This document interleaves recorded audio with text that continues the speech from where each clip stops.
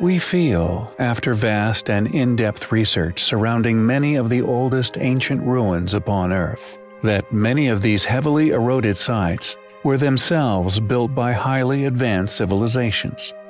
This fact indicates to us that many more ancient ruins must predate those which were built with such precision. We have, on many occasions, covered ancient sites which clearly underwent more than one advanced building phase. Sites that were clearly re inhabited on more than one occasion by groups who utilized such builds in order to flourish themselves, achieving a level of technological prowess which allowed them to either build atop the advanced settlement they found themselves within, or with the Great Pyramids, capable of undertaking an enormous conservation effort now seen in the form of the casing stones. Additionally, on many occasions, we have shared numerous perplexing ooparts found littering the mines of Earth, and indeed the coal seams within. A reoccurring date of around 300 million years ago, attributed to many of these relics, any ruins from this same area would have undoubtedly turned to dust by now. Just how old is human history here upon our Earth?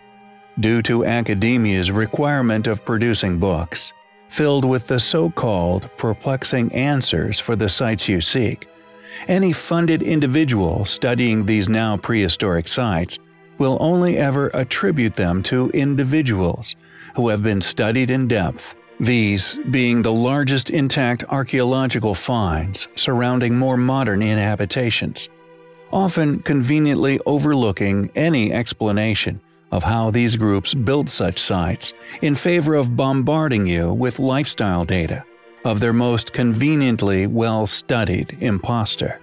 Has civilization been flourishing and restarting here on our planet far longer than any of us have been led to believe?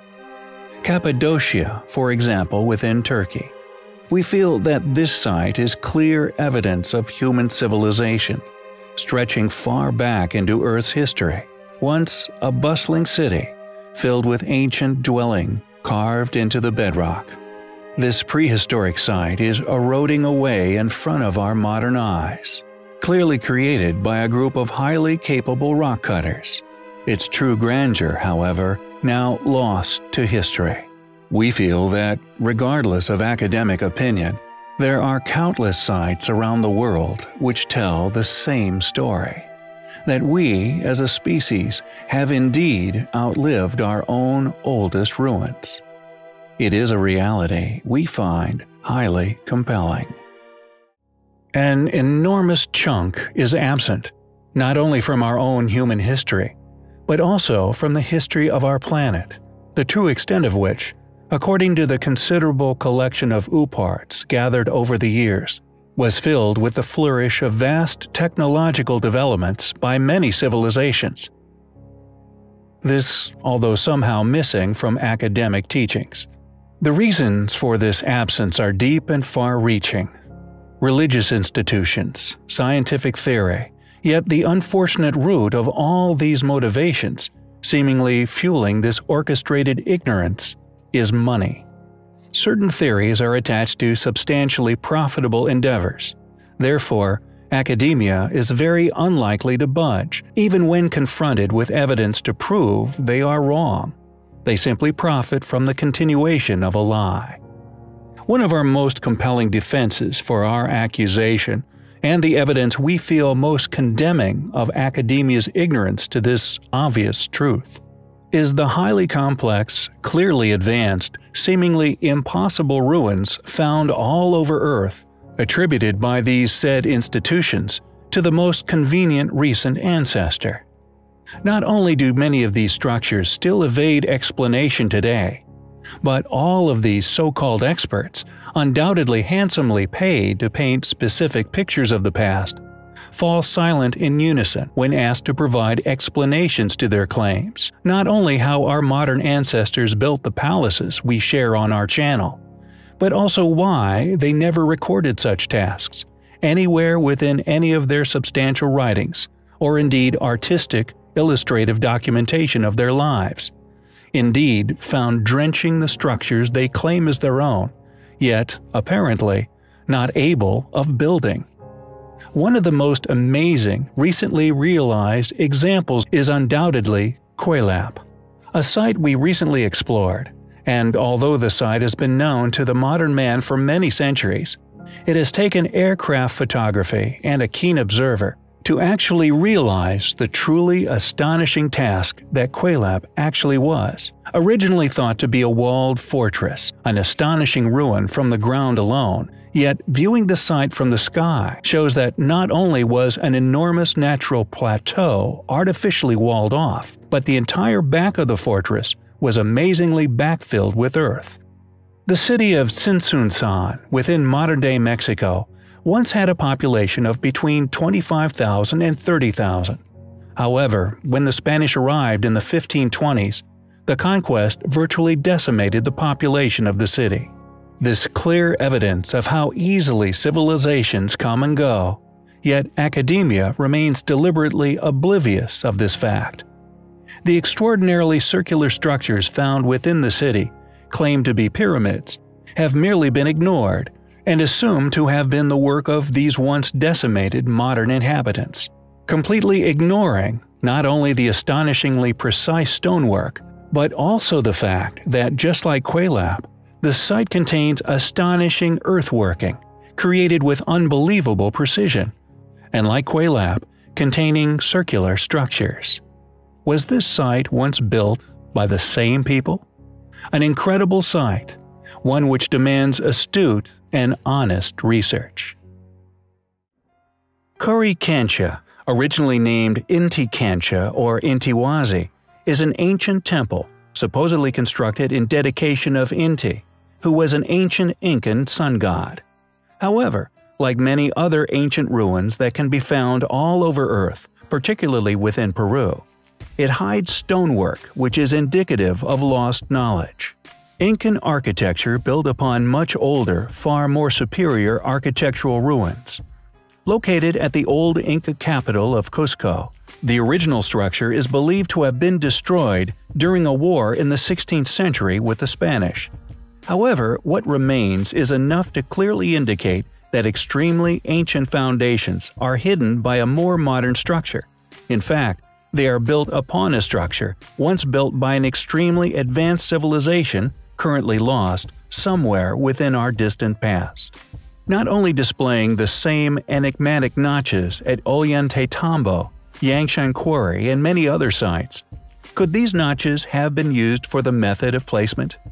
Although rarely shared, Coricancha preserves some of the most exquisite ashlar stonework anywhere on Earth, undoubtedly left by this long-lost civilization. Who were these people? Capable of such superior stonework so far within the past? How long ago did they flourish? What other amazing things are they waiting to teach us? Coricancha is undoubtedly a remarkable place. When the Incas presumably re-inhabited this unexplained habitation, the gold, which coated many of the statues and walls, preserved until the Spanish invaded in 1532. The Spanish colonists built the Church of Santo Domingo on the site, a declaration that almost accompanied with destruction, is seemingly more honest than the Incas' original claim of ownership. Another structure that not only displays unexplainable stone working techniques, but reinforces our accusation that many ancient cultures, not just the Incas, are guilty of stealing and intimidating heritage from a long-lost advanced civilization for their own gains. The more modern ruins of the ancient temple were seemingly built using andesite stone, tracked down to quarries in Huacauto, located around 7 kilometers from Cusco. However, the structure also features walls of diorite, these being the original workmanship, this according to a number of independent researchers, who indeed confirm that the diorite structure is what's left of the first temple. Who built these amazing structures, found not only dotted all over Peru, but also the earth? How did these amazing people know about constructing earthquake-proof architecture so far within our past?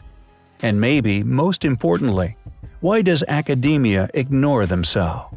Questions we feel demand answers.